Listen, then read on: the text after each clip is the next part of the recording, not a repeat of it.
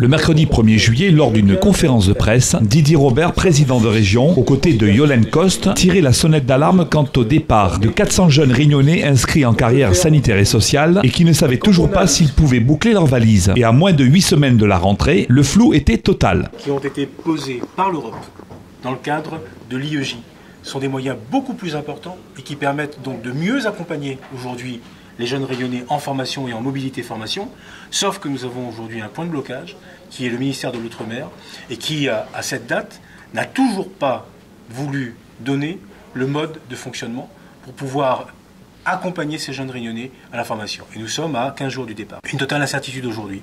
Des jeunes qui, sont, euh, qui ont monté leur dossier, qui sont effectivement dans l'attente, qui se sont déjà inscrits sûrement en, métropole pour pouvoir devenir infirmier, pour pouvoir devenir kiné, pour pouvoir suivre une formation, et qui, euh, à cette date-là, ne savent absolument pas ce qu'il faut faire. Donc je lance un appel au gouvernement pour lui dire, et au ministre de l'Outre-mer, pour lui dire, donnez-nous le mode opératoire aujourd'hui. Dites-nous de manière claire ce que vous souhaitez pour que la région puisse adapter son dispositif par rapport au financement européen. Aujourd'hui, il faut bien comprendre une chose, c'est que le nouveau dispositif européen est beaucoup plus avantageux pour la Réunion.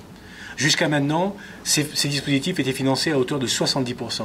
Depuis un an maintenant, l'Europe a accepté en comprenant les difficultés qui sont celles de la Réunion et des Réunionnais qui souhaitent partir en mobilité, de monter le niveau d'intervention européen jusqu'à 92%. Nous ne pouvons pas passer à côté de cette opportunité. Donc il faut que chacun prenne ses responsabilités, il faut que le gouvernement aujourd'hui et le ministère de l'Outre-mer acceptent d'activer les mécanismes pour que nous puissions à la Réunion bénéficier de ce dispositif européen, qui est encore une fois un dispositif particulièrement intéressant pour tous les rayonnés, qui va nous permettre d'augmenter le nombre de formations et peut-être diversifier davantage également ces formations. Le mécanisme qui a été choisi, c'est celui aujourd'hui d'une interface entre Paris et Bruxelles et la région Réunion n'est finalement aujourd'hui que, j'allais presque dire, spectateur dans le, dans le cadre des décisions qui peuvent être prises. Nous avons toujours à la région Réunion fait le choix d'accompagner les Réunionnais en formation parce que je considère, nous considérons que la formation professionnelle, que ce soit ici à la Réunion, que ce soit dans le cadre de la mobilité, que c'est un élément essentiel si l'on veut euh, faire en sorte que les Réunionnais soient mieux formés, mieux qualifiés et qu'ils aient une vraie perspective d'emploi.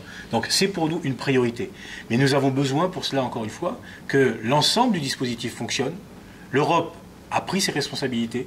Il faut maintenant que le ministère de l'Outre-mer prenne également ses responsabilités et accepte d'être dans cette démarche de cohérence pour que Europe, Paris et la Réunion, que nous fonctionnons ensemble dans le cadre de l'intérêt général et pour les jeunes réunionnais. Dans sa réponse à Didier Robert, Georges Paul-Angevin, ministre des Outre-mer, a tenu à rappeler, je cite, que depuis 2014, la région Réunion s'est désengagée de l'accompagnement de ces jeunes en supprimant les prestations relevant de sa compétence qu'elle assurait jusqu'alors. Et de préciser que dans ce contexte, elle avait donné instruction au préfet de mobiliser les crédits de l'IEJ. Ces crédits couvriront l'essentiel de la part jusqu'ici supportée par la région. Ils seront mis en œuvre dans le cadre d'une convention tripartite entre l'État, l'ADOM et la région, dès lors que cette dernière reviendra sur sa décision de ne pas la signer. Fin de citation. Deux jours après avoir tiré la sonnette d'alarme, l'équipe de la région peut rassurer aujourd'hui les 400 étudiants en carrière sanitaire et sociale ainsi que leurs familles. En effet, Dominique Sorin, préfet de région, a réuni le conseil régional, l'ADIECT et l'ADOM. Et c'est donc Yolène Coste, vice-président de la région déléguée à la continuité territoriale et à la mobilité, d'annoncer les bonnes nouvelles. Premièrement, les 400 jeunes en carrière sanitaire et sociale pourront partir comme prévu en métropole ou en Belgique à la rentrée. Je cite Madame Coste, les dossiers des nouveaux entrants seront bien constitués auprès de l'ADOM. Deuxièmement, la région Réunion pourra elle-même faire appel à l'IEJ sans passer par le ministère de l'Outre-mer et profiter ainsi de la participation de l'Europe à hauteur de 92% sur les frais de vie. Troisièmement, la liste des jeunes et leurs RIB seront bien transmis à la pyramide inversée par l'ADOM, ce qui permettra à la région de rémunérer directement les étudiants de troisième année sans avoir à transiter par l'agence pour la mobilité et sans craindre une rupture dans les paiements. Tous ces différents engagements seront actés lors de la prochaine réunion prévue le mercredi 8 juillet 2015.